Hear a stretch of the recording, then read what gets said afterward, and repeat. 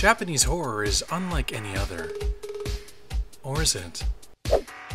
When I think about my fall into the pit of horror obsession, the first real moment of morbid fascination stems from when I found out about The Ring. Unlike what I was used to with Western slasher films and Dreamtime boogeymen of the time, this movie had a potent psychological element to it. By now, I'm sure most of you are familiar with the material, but to give a brief summary for those new to Japanese horror, The Ring follows a journalist who learns of a cursed videotape attached to a string of mysterious deaths. According to legend, those who watch the videotape die seven days later. The journalist is able to find a copy of the cursed tape and, after watching it, begins experiencing subliminal visions and the increasing presence of something supernatural in the background. Something about the curse and the mysterious vengeful spirit behind it haunted me, not only was I terrified, I was curious. I found myself looking for anything I could get my little hands on to better understand the curse I had recently learned of. And before long, I found myself reading a piece of the original source material, a Japanese horror manga based on a novel from 1991 simply called Ring. The images were hauntingly disturbing. There was something powerful in them, unlike any graphic novel I'd ever seen before. Eventually, I convinced a cousin of mine to come to the local blockbuster with me, where we picked up a copy of the film that the DreamWorks adaptation was based on. Known to the Western world as Ringu, Ring was horrifying. But this was a different type of horrifying. It was more subtle, more psychological. It had an unending dread. I distinctly remember how hard it was to sleep that night. And from then on, I found myself particularly excited whenever a new horror in a similar vein was released to the US. Something about it all was so captivating. Even looking back at my art from those days, there's no question creepy Japanese ghosts were an inspiration. So today on Darkology, we're going to explore just what makes Japanese horror so creepy.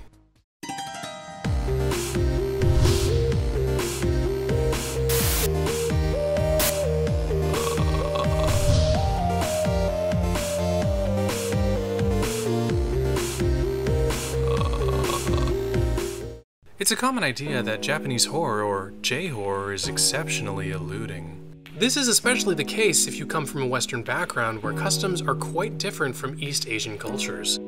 In Western culture, we're used to being treated to a certain format of storytelling. Everything needs to be explained, and we're often hand fed information, especially with regards to motives behind spirits and supernatural happenings. In Western horror, we're used to seeing blood, guts, and action. A growing opinion is that Western horror films have become more and more akin to violent adventure films. The thing about J horror is, its target audience isn't Westerners. It isn't trying to appeal to the customs of Hollywood.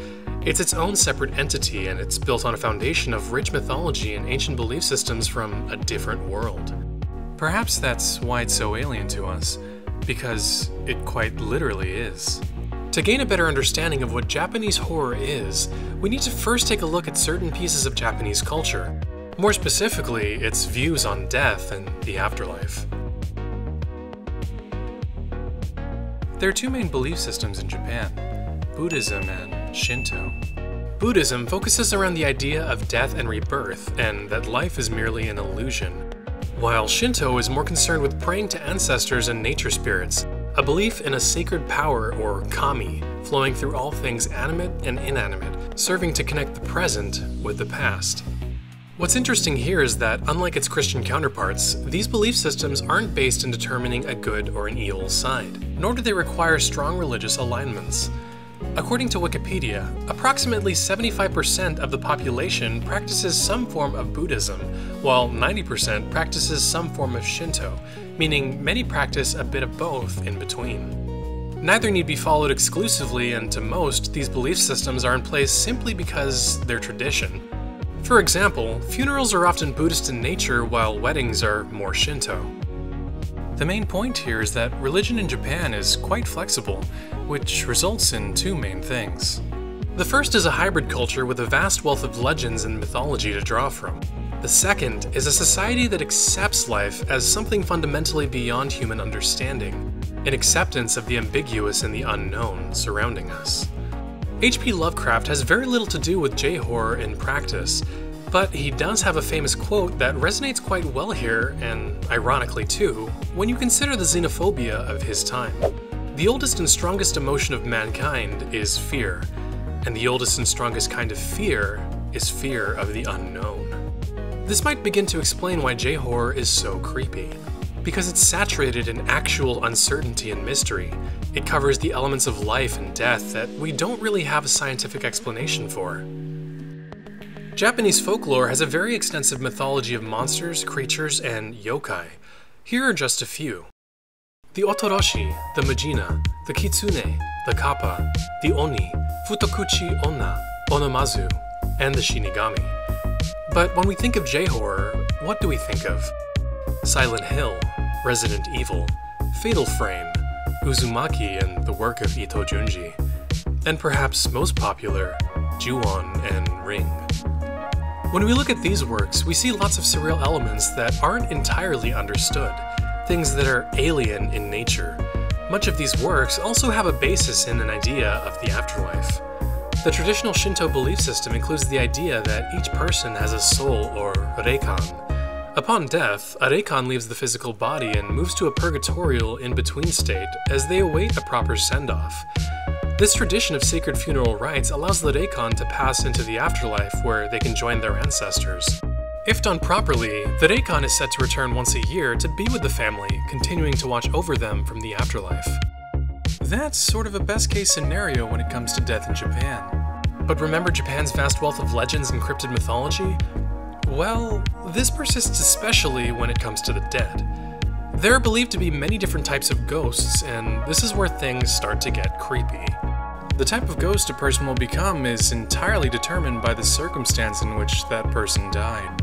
It's believed that when a person dies under abrupt circumstances that don't offer an honorable or sacred send off, they instead become a yurei, a spirit kept from a peaceful afterlife. And more to the point of this video, the especially unfortunate ones who die under extreme negative circumstances such as violent murder or suicide, well, it's believed that the powerful emotions made manifest linger beyond death, in the form of a vengeful spirit, an onryo. This is what we see in movies like The Ring and The Grudge. It's what has become prevalent in popular online Japanese urban legends, including the likes of Kuchisake Onna, Teke Teke, and Hachishaku sama. These are all examples of yurei, the concept of a pale ghost with long black hair shrouded in a white burial cloth or the clothes they died in.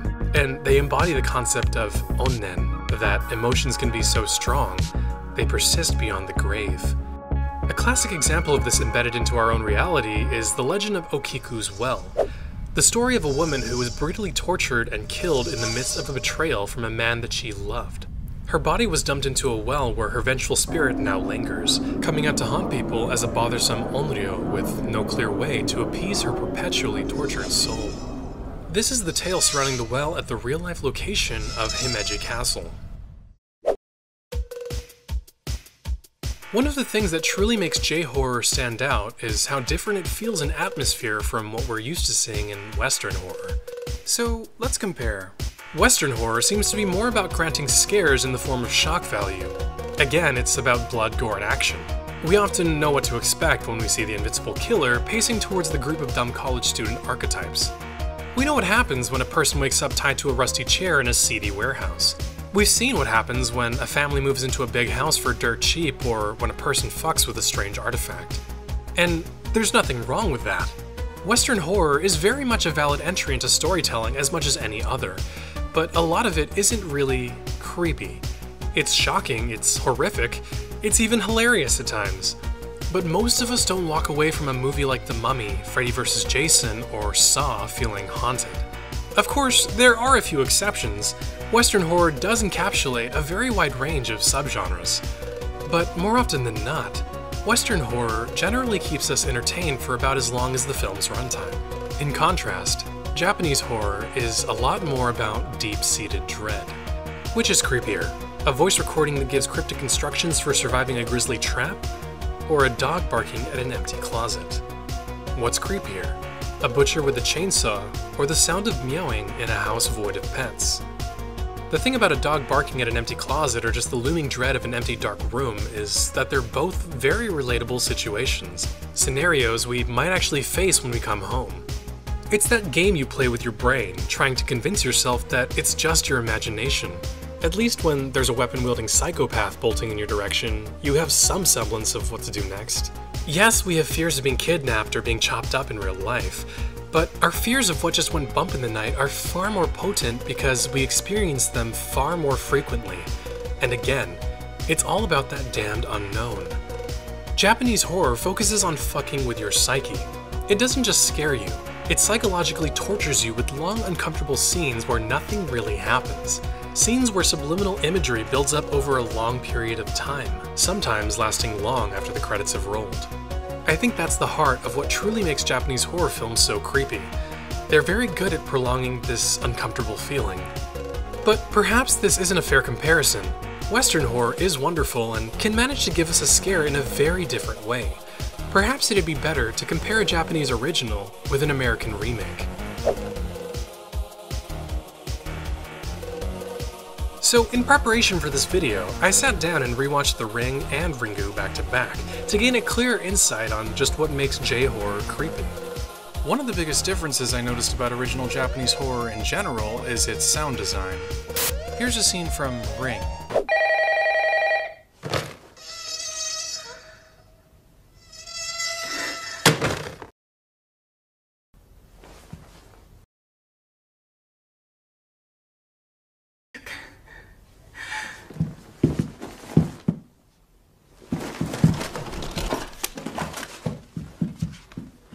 Now, here's a scene from The Ring.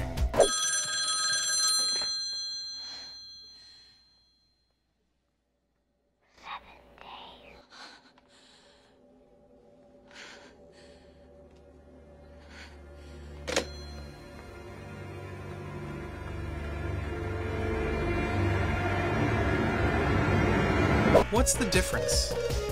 In contrast to fully scored Western remakes, J-horror films have very little to no music or sound.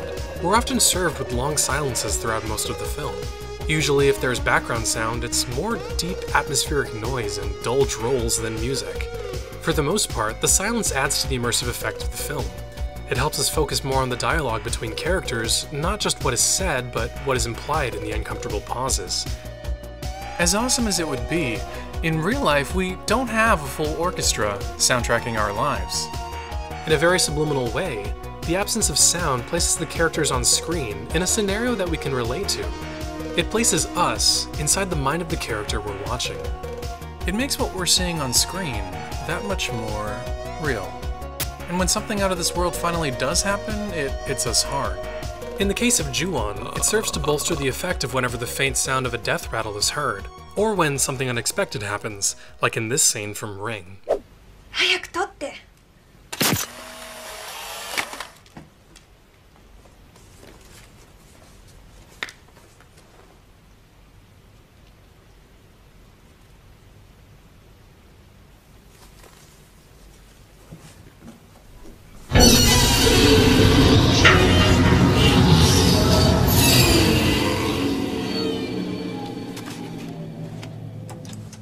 Does this effect perhaps stem from a fear of silence?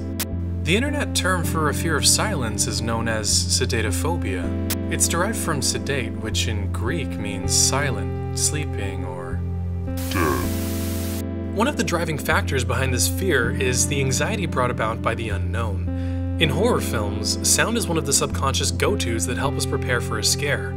We rely on sound to preemptively guard ourselves, what silence does is rob us of this comfortable fallback, leaving us in a constant state of terror. A little tidbit about terror, by the way, it's not quite the same thing as horror. Where horror is the intense feeling of revulsion after we've seen something scary, terror is the dread we feel leading up to something scary. In some ways, it might be more appropriate to call J horror J terror. Another main difference is how Western adaptations often go to great lengths to explain the context behind a villain or a mystery. They leave very little to the imagination and lack the subliminality of the original.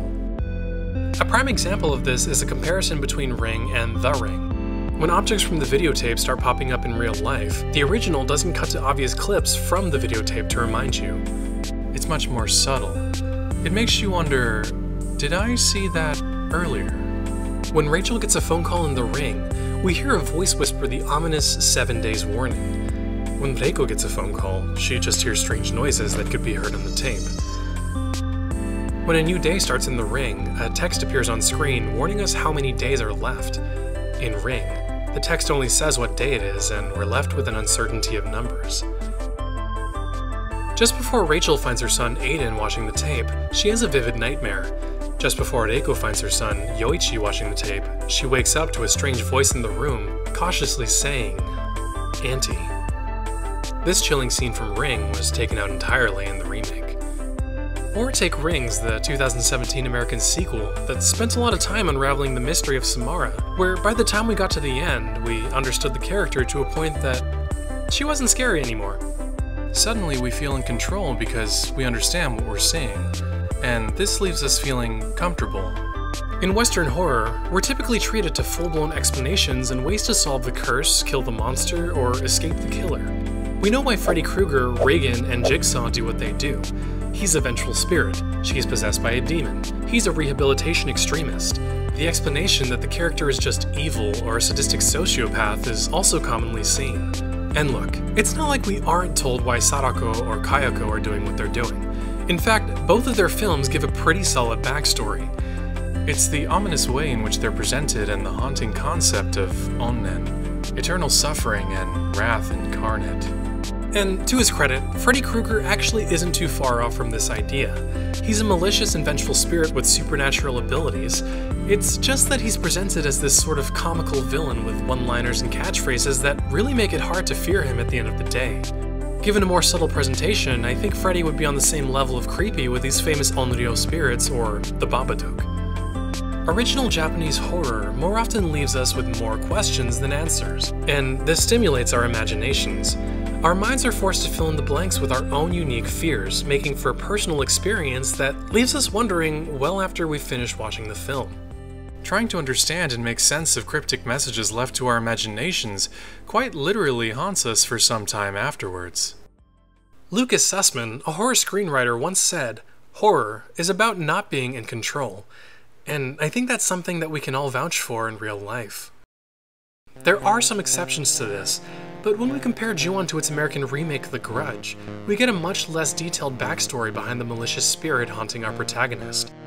This goes back into a common trope with Western horror, which is that audiences have come to know what to expect.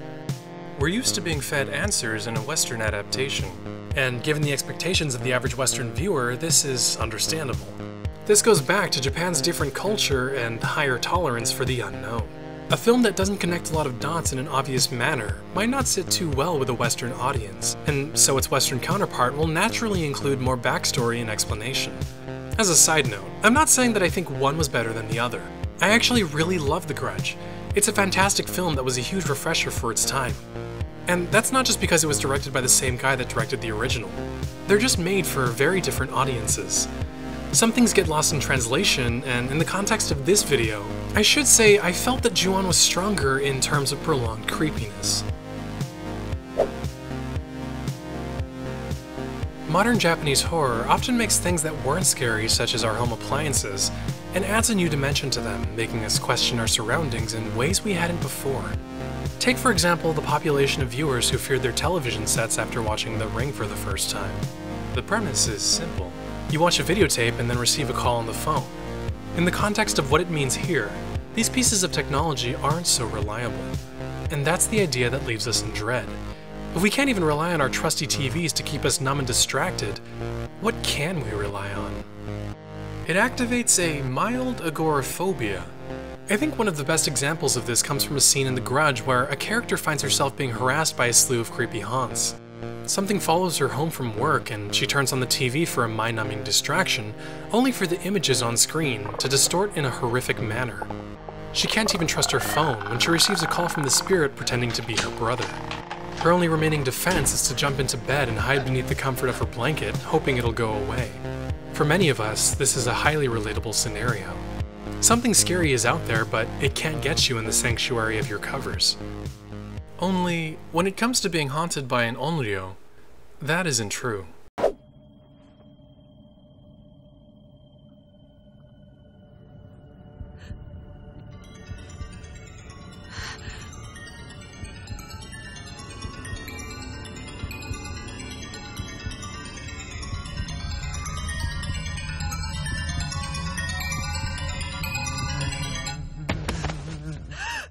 Name Jeff.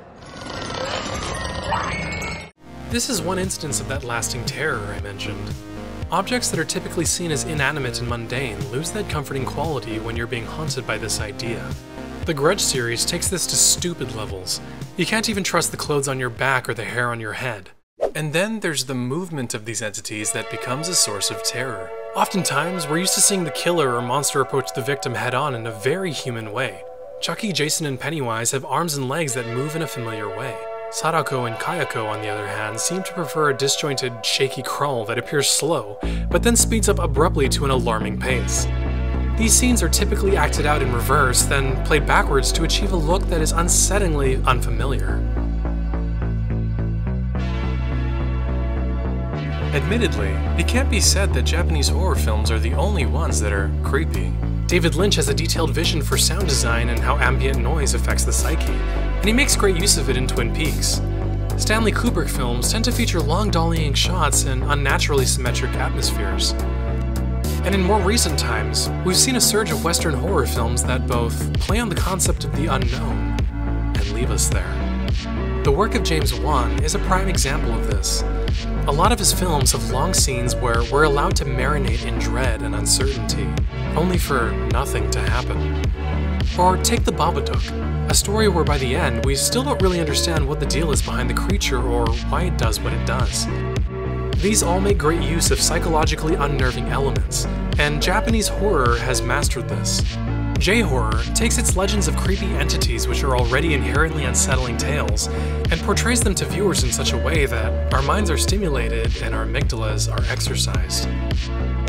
From sound to concept to visuals, J-horror effectively weaves a subtle and ominous dread. What makes Japanese horror so creepy is how much it sinks into our uncertainties. Hey, did you enjoy that video? If you did, be sure to leave a like and comment what your introduction into J-horror was. And as always, thanks for watching.